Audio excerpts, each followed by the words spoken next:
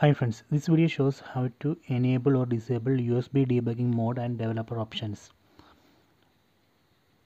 Open settings app, tap on the settings app icon. Then go down. Then tap on more settings. Then here you can see about phone. Tap on about phone.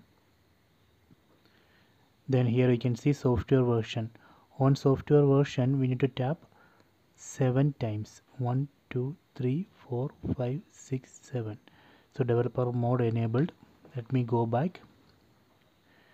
Then under setting more settings here you can see developer options. Tap on this.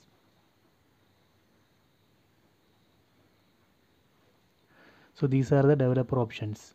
So here you can see dev mode in red color. That means developer options has been enabled.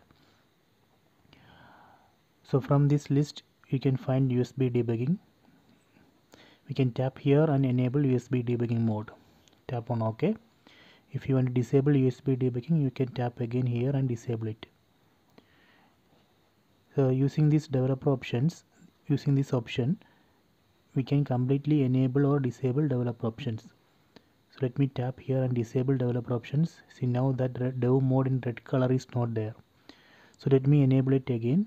Tap here then tap on ok. So now I, I enabled devel, uh, developer options. Now here you can see dev mode in red color. So this way we can enable or disable USB debugging mode and developer options. So I hope you enjoy this video